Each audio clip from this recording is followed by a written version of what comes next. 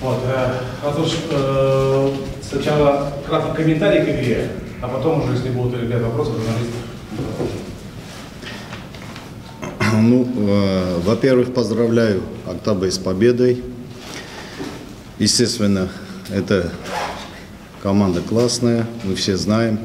Не случайно, что они сейчас лидеры чемпионата. Но э, мои футболисты, Акжаика, фактически они сегодня дали бой эту команду.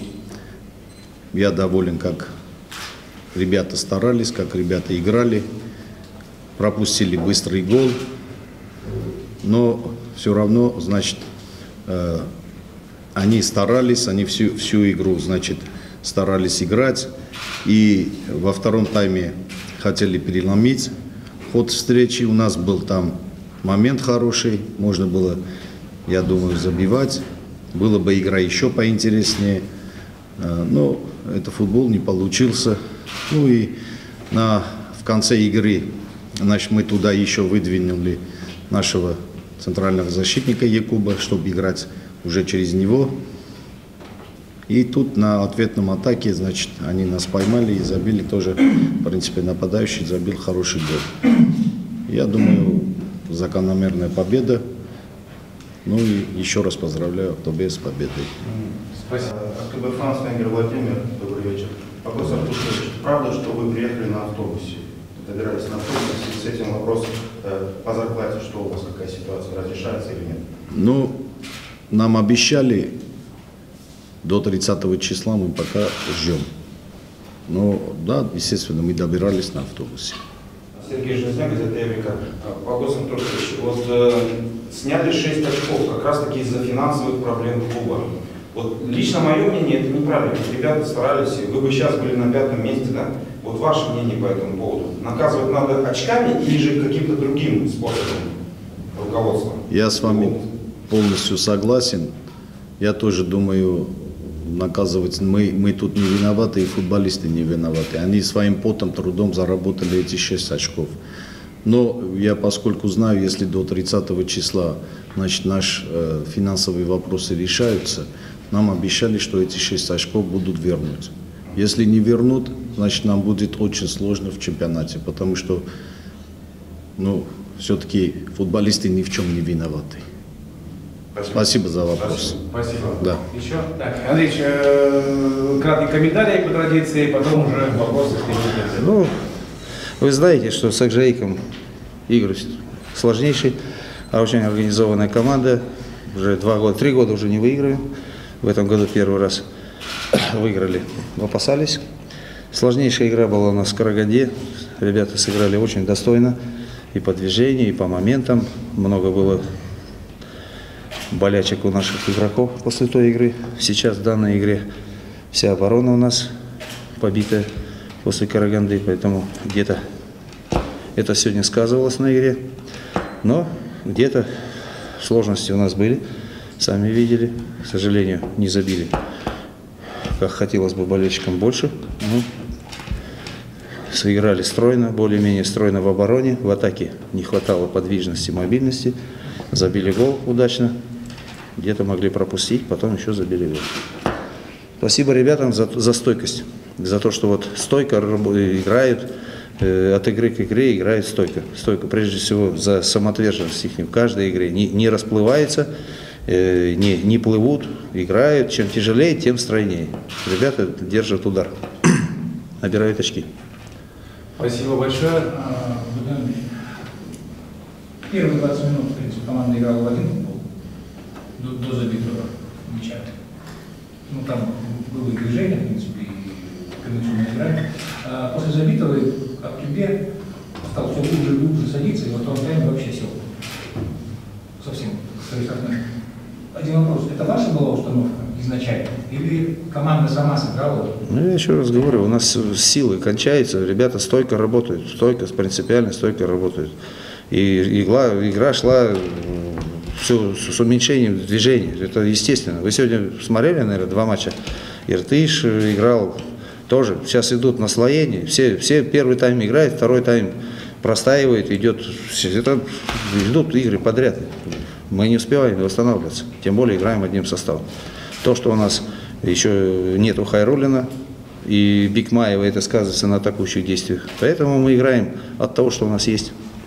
А установку, установку играем, играем насколько позволяет по, по игре. Мы выходим атаковать, атакуем, силы уменьшаются, на переходим в позиционную оборону с контратакующими действиями. Мы не можем облавы устраивать на, по 10 человек впереди, по, по 8 человек впереди и 2 сзади, как это было в прошлом году, когда проиграли по, по 0-4 этим, э, к Жаику. Мы играем по, по результату, по счету. Первый тайм был очень активный, до гола, вы правильно говорите. Потом на уменьшение пошло, потом все-таки все-таки вы, вы, вы это самое решили освежить немножко. Оно сработало, забили еще один мяч. И еще могли забить. Соперник хороший. Спасибо. Нет плохих соперников. Они выиграли многие команды. Установка была выиграть. Начальная, начальная, начальная активность должна быть всегда. Начальная активность. Потом мы работаем по нашему состоянию, по счету, по состоянию, физическому состоянию, по, по тому, как работает соперник. Но начало каждого матча мы играем на пределе атакующих возможностей. Мы не садимся ни в одной игре, мы играем в атакующий футбол. Потом, в зависимости от соперников, мы, мы перестраиваем игру. Например, вчера Бавария то же самое сделала. 30 минут их колбасили Боруссия. Потом они э, реализовали все и все. Я Нормально. только- только Поясню, почему спрашиваю. Мы- Нет, это нормально, нормально. Я бы объясняю. Я, я тоже понимаю, ожидании Лиги Европы, да, там, где, в принципе, количество забитых мячей будет играть роль. То есть, когда в чемпионате мы выиграем, даже если мы все время будем выигрывать 1-0, это нормально. Да не нормально. Это мы И должны Европа, лучше играть. принципе, Мы должны лучше играть. Лиге Европы так или иначе придется стремиться к максимально возможному результату. Всё да? Забивать три мяча, правильно. может отыгрывать два, правильно. и так далее. Вот характер последних игр, по крайней мере, домашних, да? То есть один против Форда Бассейн, 2-0. Вот, вот откуда вопрос. Все правильно, все правильно. Абсолютно правильно. Мы, у нас, вы не забывайте, что у нас нету Хайрулина, который олицетворяет наши атакующие действия, и Байтмаев, который олицетворяет наши атакующие действия. И плюс битву э, в, этом Караганде, где, где мы играли очень достойно и должны были выигрывать крупнее, крупнее, честно говоря, нам. А следующий матч с РТ-шоу будет еще сложнее. Будет еще сложнее. Николай Сыров, газета «Диапазон». Владимир Андреевич, сегодня по ходу второго тайма играло два чистых нападающих. Как вы отметите их взаимодействие? И У кого имеете? У нас? Генрих, да, Генрих и, и? Владимир Сыров, Ну, они не чистые нападающие. Мы в любом случае, мы, если бы, конечно, бы результат был бы отрицательным, мы могли 4 нападающих, но счет был положительный. Мы просто Генриха чуть ниже опустили. Ген, э, Гридин там нагнетал. Они как номинальные, они, может, нападающие, но ро- роли они играли другие. Ну да, два нападающих, да, я согласен. Свежие вышли, уже все-таки внесли свою лепту. И Диденко тоже вышел, хотя мало играл. Тагаберген тоже свежесть внес в плане того, что там где-то и, и в обороне отработал свое, и вылетал туда пару, пару раз. Поэтому, может быть, раньше надо было. Но раньше тоже чревато, как они войдут, потому что соперник нагнетал же. Могли и пропустить там, честно говоря. Да, вот, Владимир Андреевич, вот Джессери вопрос. Он выходит номинальным левым полузащитником да, в начале игры. Видеть- нападающий. Левого нападающего даже так, да? Да. Его между- можно видеть... Даже не левым, а полулевым, полу, полусредним.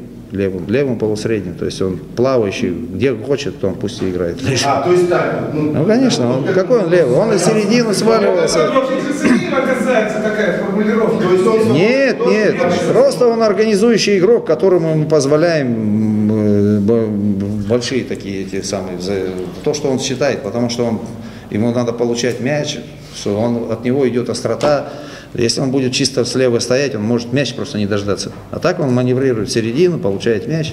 Ну, играет такого, можно сказать, полусреднего, по- полунападающего без, бе- ну, с небольшими оборонительными обязанностями. Можно сказать, что он второй нападающий сегодня играл. Ну, хотя он не нападающий.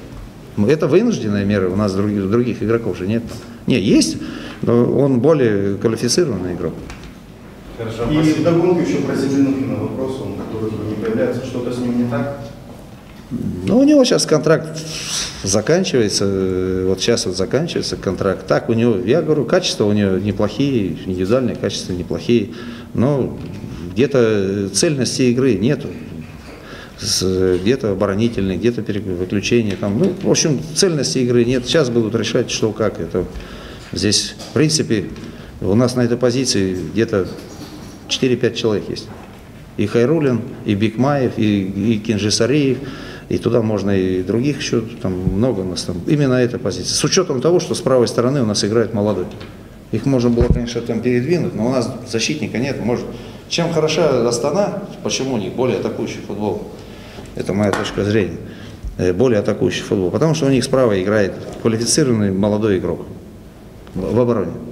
И поэтому у них фланги, два фланга работают там, и плюс еще меняют их очень квалифицированные игроки. Конесбаев и Каотиама, потом выходит туда и, и, этот, и, и Носербаев, и Ксерлыгаш там, Э, там много у них замен, там, они могут усиливать игру. У нас в этом отношении дефицит молодого игрока, это самое, ну, если бы у нас в обороне бы, мы были бы уверены, то, что у нас в обороне играл бы молодой игрок, то у нас атака была бы другая немножко получше. Тогда бы играли опытные игроки с двух флангов, и это было бы, смотрелось по-другому. Все-таки Мирошниченко, он более оборонительный, хотя спасибо ему, что он два гола забил, решающих. Решающих забил. Хорошо, все, спасибо.